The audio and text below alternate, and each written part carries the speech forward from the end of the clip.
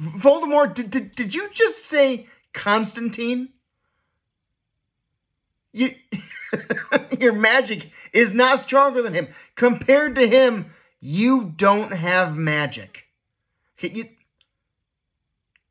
he's about as strong as Dresden, a, a, a, a different kind of strong, but dramatically more so than you.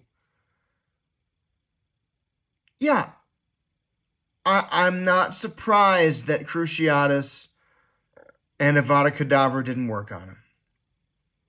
Because because you're outclassed, man. I, I, I, am sorry that you're in denial, okay? That that even though you're one of the strongest people from your reality, that you were so ridiculously weak compared to other realities. You need to stop trying to test yourself against things that you're not a challenge for and people you're not a challenge for.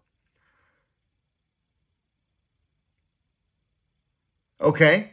Yeah, that's called a devil dog. You should run. No, you don't have to run, run. You can apparate, but get out of there.